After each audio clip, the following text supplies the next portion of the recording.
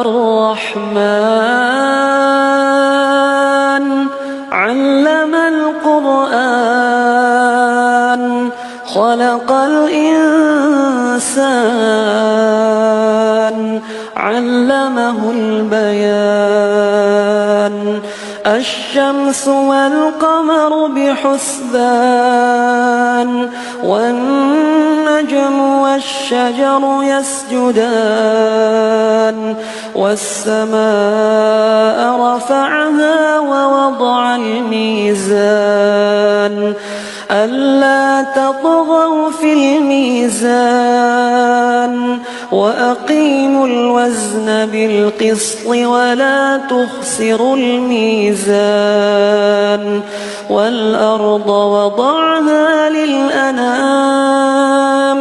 فيها فاكهة والنخل ذات الأكمام والحب ذو العصف والريحان فبأي آلاء